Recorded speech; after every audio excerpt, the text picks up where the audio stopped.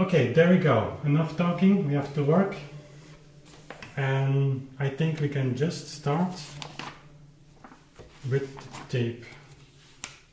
Ja, ja, just had to record button. Allemande, fifth partita. Ready?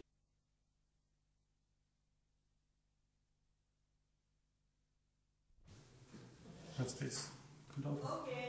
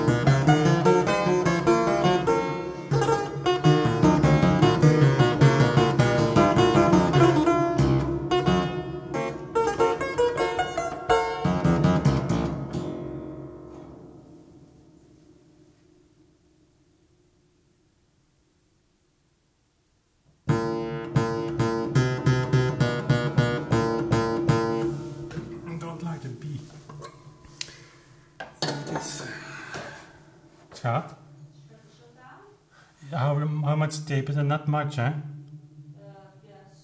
Okay.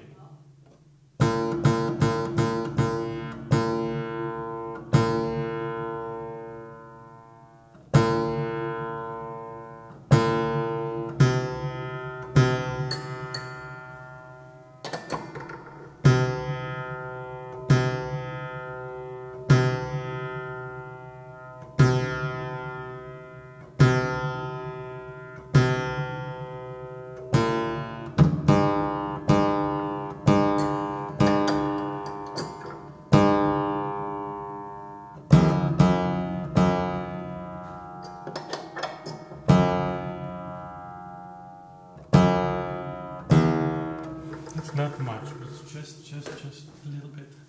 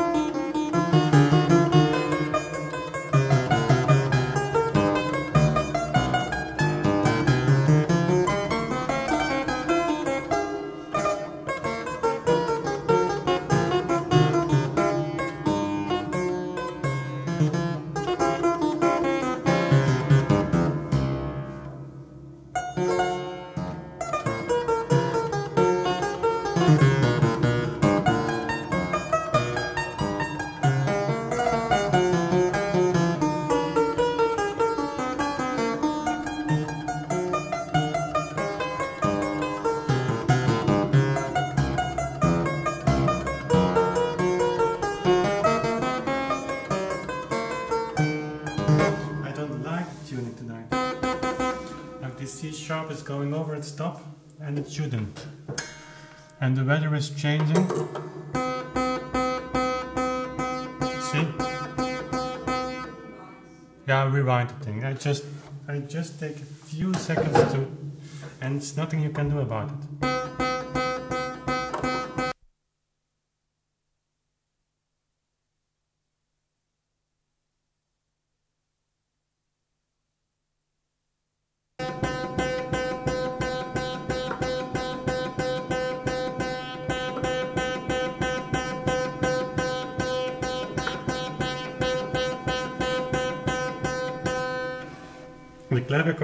Strange.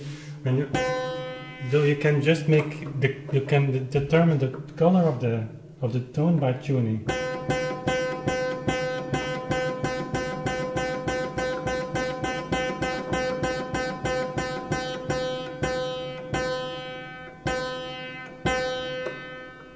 And normally, when the instrument feels very at ease, you have a little, rather wide margin where the two um, strings come unisono together and you can differ a little bit to the left or the right and depending what kind of sound you want, very dry, pure attack sound, what I like very much because it's anyway while, while playing is just making a little bit of differentiation later and that's so if you tune all the all the unisonos very much dry to the to the to the sec tone and then play, then the instrument blends together after a while.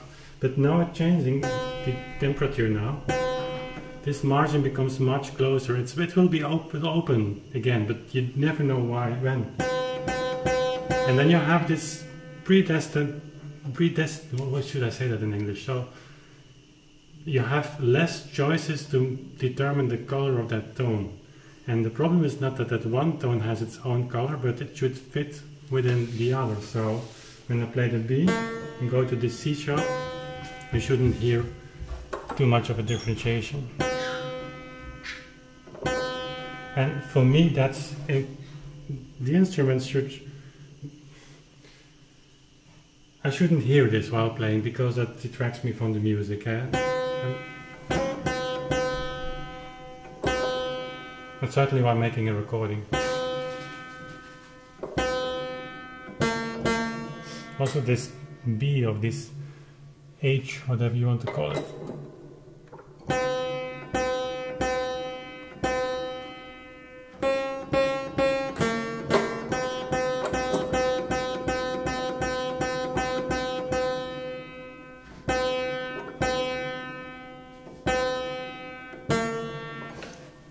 Maybe I'm a little too much of perfectionist on that. Let's see.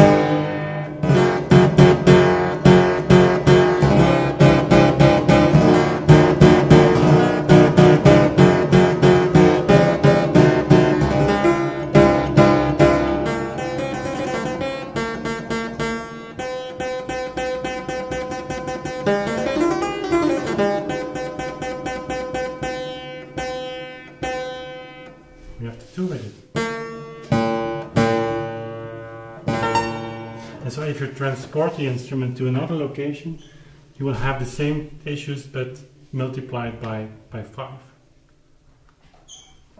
So that's one of the advantages of staying at home. That's Sophie running. And if we are ready in the kitchen, yeah? Almost. Almost.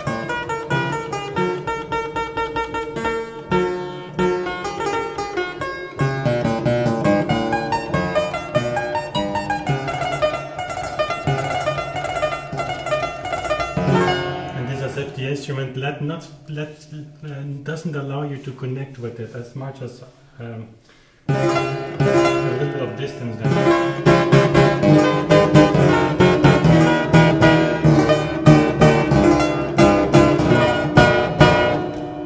Okay, Can I stop? we just see what happens. Yeah. Yeah? hmm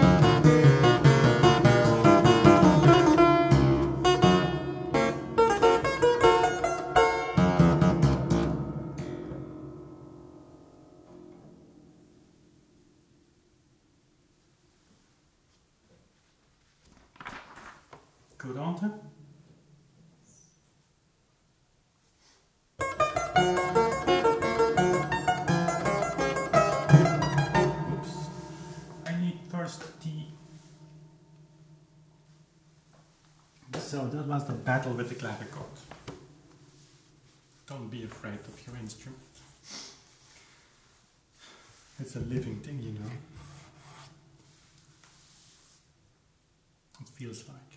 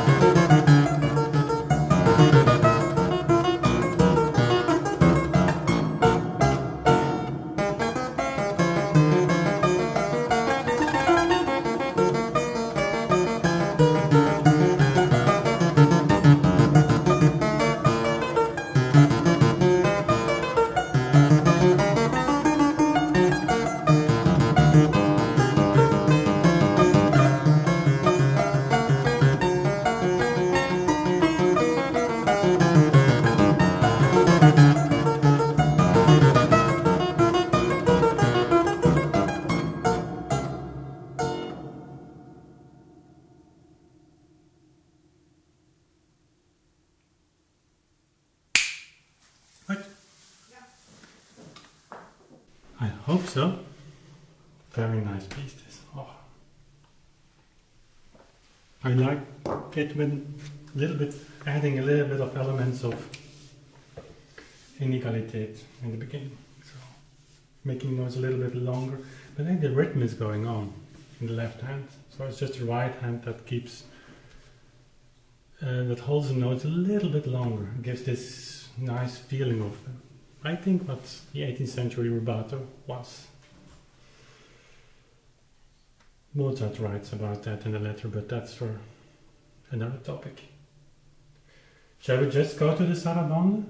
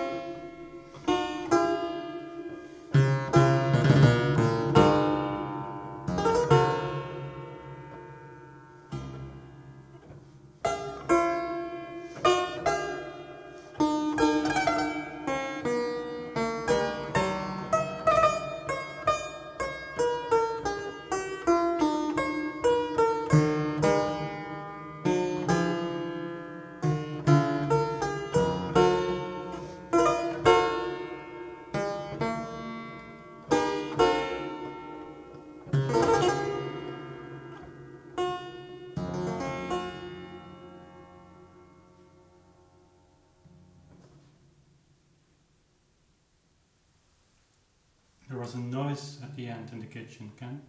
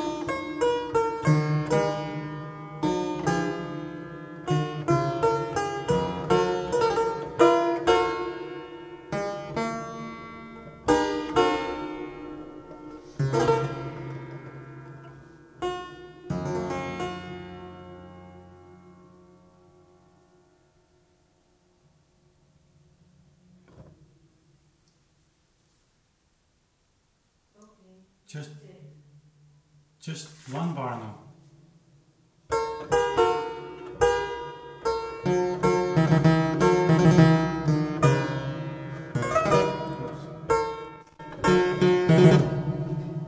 It's up, up, up, up, up, it's up, it is up, it's over.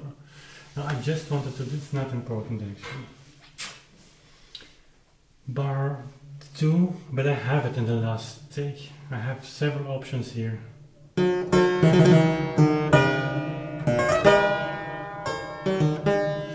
It's a little bit tricky. It's a short appoggiatura. If the first edition, so yeah, it's right, so it, or this edition is right. But anyways, it's a strange situation there.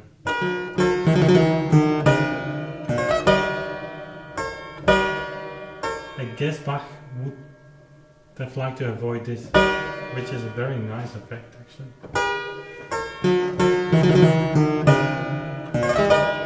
Difficult.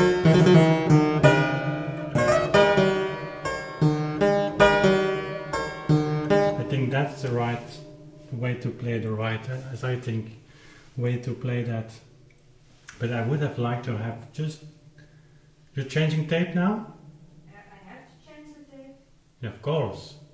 I have to, to roll it back. Yeah, you were just sitting on your chair and doing nothing. You asked. So I want to have this version also to choose from.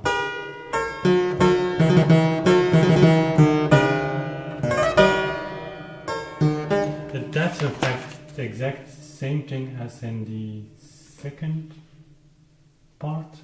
Here it is. Yeah, there we have also an ornament, I leave it out.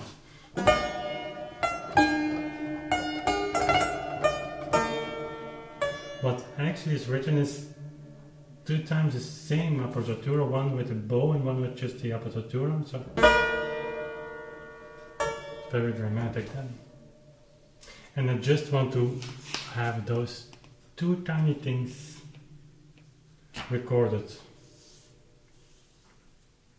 Because you have to imagine I'm only listening when you're playing, and as, as you are, if you are a performer, you know what I'm talking about. But if you are playing, you are process, processing the perception of the sound of the music of the production, whatever you want to call it, in a different way than when you're listening. It's a kind of real time uh, reflection on what you actually motorically are doing. So your hands, your eyes are reading, it's being transferred to a motorical movement that is being adjusted all the time by listening. So there's one loop process, which of course is something after years and years of practice you get used to, but you will never, I at least, will, I will, you'll never have the feeling, this exact same feeling as you have as a listener. So listening to the recordings tomorrow will give a slightly different view on some things. And of course, that's a great thing on the YouTube channel. I have made now, I believe, maybe 110 recordings for YouTube. And so that's most of them come very quick. So in the evening recording, next day editing. So you get used to this feedback you get from your own, and that's. But you will never reach the level that you, or level is not level. That's not the right word. You will. There's always a difference between listening to your the recording you've made and making the recording. This process of constantly adjusting and reacting on what happens. It needs to be every time a new recording, a new piece. Not saying to forget everything what you've prepared for, because that would be the worst thing you can do. There's one thing that my teacher Jaak van Ootmessen learned, us, and it's a great thing to remember. I remember it always. Never, never change things while playing a concert or playing a recording. You can find new elements, but overall, the pattern is, of course, what you have prepared for, should have prepared for. So Anya is now and then just those three, four bars, and then I think for today it's enough. Then Next session will be the Minuet, which is a beautiful piece. The Sarabande is very sober, this fifth partita, but in a way it's magic. In a way, it, I feel just this piece to be that you have to wait as long as you can to make a second beat, to have this tension going, very slow tempo. Then the passepied, and then of course the jig. With for the for the fifth partita, it's also a very difficult one. So we will need some time for that. It's Okay. 10:30 here. Okay, just record. It's it's two minutes. The start time? Yeah.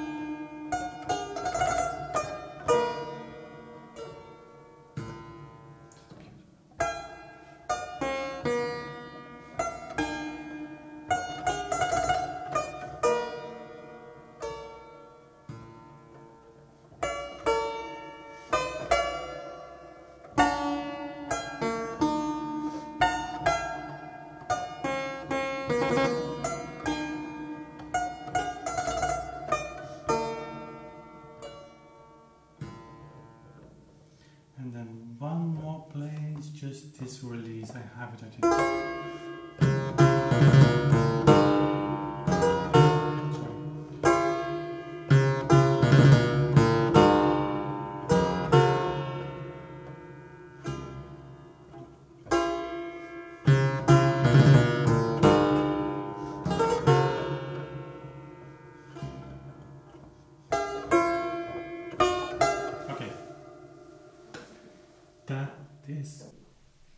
this this release is just difficult here. So the hand position is like that.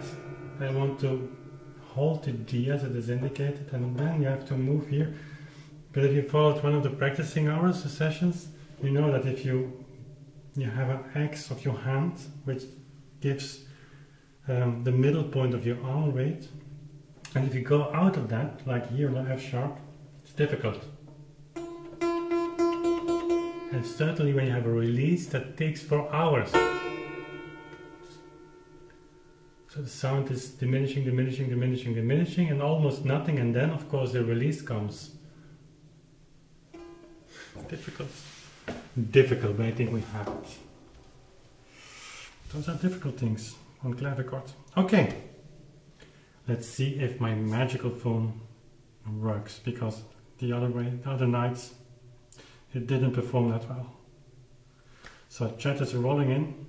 We're going to stop, Anya, Okay. if that's okay for you. Oh. She's a manager, you know. No, kidding.